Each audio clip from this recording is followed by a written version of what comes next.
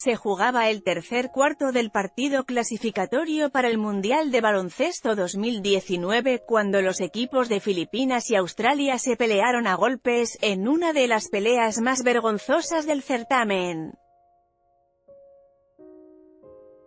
Acciones de la pelea entre jugadores de Australia y Filipinas. Agencias Australia ganaba cómodamente 79 a 48 cuando comenzó el enfrentamiento que involucró a todos los jugadores que estaban en la cancha en ese momento, a los suplentes y a gran parte de los ayudantes de ambos cuerpos técnicos.